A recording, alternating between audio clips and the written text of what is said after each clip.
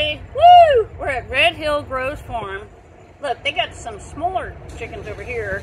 And I live on a farm in Louisiana, just, you know, 15 acres. We had pigs and chickens. The pigs were named Oscar and Meyer. Not even kidding. Woo! Hope nobody gets offended. But um, we had fresh eggs every day. And we are so pumped. We're at a antique tractor show today and we are looking at the chickens now. All right, Freedom, say goodbye. Have a great day.